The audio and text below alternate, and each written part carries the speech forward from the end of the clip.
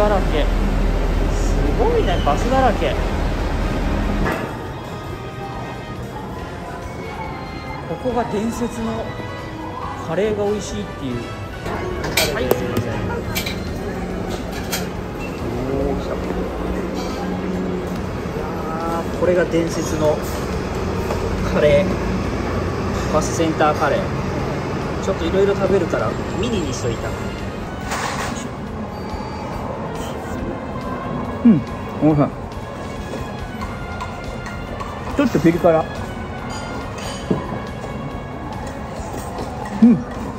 あこあこあこあこあここの新潟中央卸売市場は昭和39年に作られたそうです。当時は青果部だけだったそうなんですけれども、まあ、その昔自分の庭で採れたお野菜をこうピンポーン。この野菜うちの庭で採れたんですけど買ってくれませんかっていう人たちがですねこの新潟では非常に多かったそうです。でその後それだと効率が悪いということで人が集まる場所にその野菜を持ってくる人たちがたくさん集まってきたと。そして朝市ができたんですね。その後朝市盛り上がるんですけれどもお店によって値段が違うだとか、まあ、食品の衛生上の問題だとか道でやっている場合ですね車がすごくこう走る時代になってきたので危ないよとかっていう話もあってそれがだんだん街の問題として顕在化してきたと。でそんな中で昭和39年にこの新潟中央卸売市場が作られたそうです。そして平成19年にこちらの場にですね移転したそうですよ。今では青果部に加えてお花それから水産業そんなものもですねたくさん売られているようになっています。ご覧のようにものすごい大きなスペースでこれ車の置き場所を間違えるとものすごい歩かなければいけないというですね、えー大変大きな問題になりますのでこの中には郵便局もありますよ。そして右側が青果棟真ん中が新潟市中央卸売市場ということでこの中にですね飲食店があるみたいなので行ってみたいと思います。ようやく見つけましたよ。うわめちゃくちゃ広い。ここにいろいろ食堂があるみたいですね。あ佐渡前握り。あったお目当ての佐渡前握り。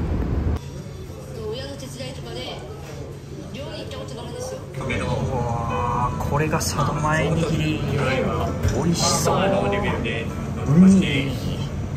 イカから独自に緊急事態宣言に準じる計画を作り体制強化に追われています、先週千葉県が公表したコロナ対策の方針した時はやっぱり心配は心配。働いてる身からスプーンがなかったので箸でかき込むことにしましたこんな時に限ってかなり滑らかな茶碗蒸しでした。美味しかったですよ。来ましたよ。新潟空港。1929年にできた飛行場ですね。1945年に戦争が終わるとアメリカ軍に接しアメリカに接収されました。そして1958年に日本に返還されることになります。その後1973年にロシアのハバロフスク線が開設されます。そして現在は中国韓国ホノルルそれとグアムの4カ所と定期便があるそうです。再びコロナウイルスが蔓延してしまった影響もあるのでしょうか。ご覧のように新潟空港は閑散としている状況でございます。国内線の窓口もご覧のように人影はとても少ない状況です。JAL と ANA に加えてピーチも飛んでいるのが新潟空港の特徴です。非常に使いやすい空港だと思いますよ。外に出るのは有料だったので窓ガラス越しに景色を見ることにしました。これでも十分立派な景色が見れますよ。奥には日本海が広がっています。この旅に来るまで全く知りませんでした。こんな立派な野球場が新潟市にはあるんですね。施設は新潟県が所有していて建設費は約83億9000万円と言われています。野球に加えて音楽フェスなども行われるそうです。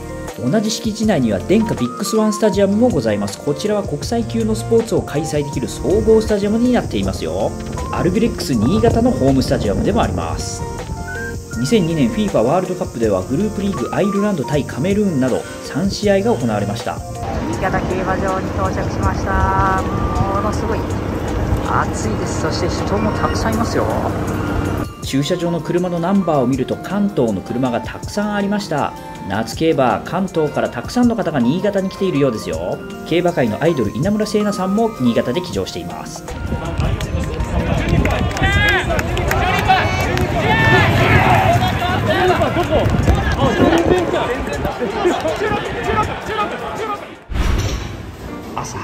やっているラーメン屋さんに来ました。朝8時からです。そしてこれあごだしを使ってるラーメンですよ。美味しそう。食べたいな麺が縮れててすんごい特徴的な。ね。すんごい縮れ麺。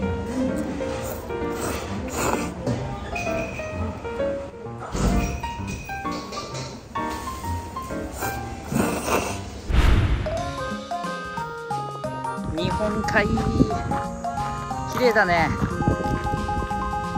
すごい。これが日本海だ。綺麗だ。太陽が反射してめちゃくちゃ綺麗。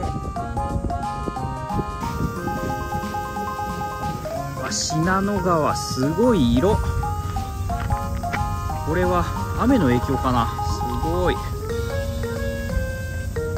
いやもう船がいっぱい止まってる。これすごいねこの景色は。空港ありサッカースタジアムあり野球スタジアムありそして競馬場あり新潟が想像以上に大都会だったことに驚きつつそして日本海と信濃川の大きな大自然に触れながら感動を胸にこれから月岡温泉に向かいたいと思います。大正4年に開湯した月岡温泉。石油を採掘している時に偶然温泉が出てきたことから湯治場として始まりました。温泉街は硫黄の香りに包まれています。全国でも有数の硫黄の含有量を誇る月岡温泉ですが弱アルカリ性で肌に優しく美しいエメラルドグリーンの色をした硫黄泉は貴金属を黒くするほど皮膚炎成人病に効能があるとされており何より美肌に効果的とされていますよ。綺麗うーん。硫黄の匂いがすごい。めちゃくちゃ綺麗傘。若さだ。めちゃくちゃ綺麗えー、めちゃくちゃ綺麗足湯。これすごいね。硫黄の匂いがすごい。それで弱アルカリ性でしょ？だから美肌の絵なんだよね